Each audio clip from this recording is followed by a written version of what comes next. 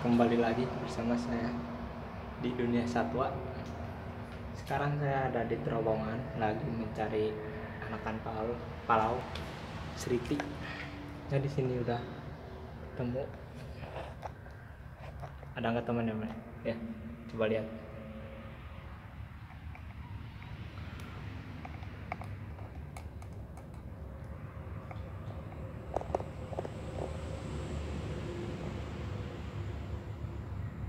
ada nggak teman-teman?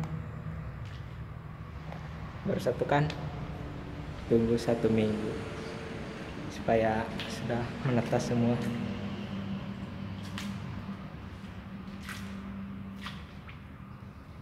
Jangan lupa like comment and subscribe